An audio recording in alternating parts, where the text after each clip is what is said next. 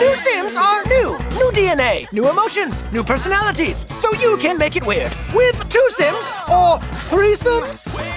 Does he like dolls or slapping men in bathrooms?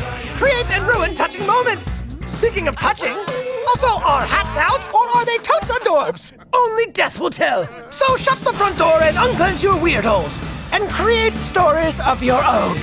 The Sims 4, they're so smart, it's weird.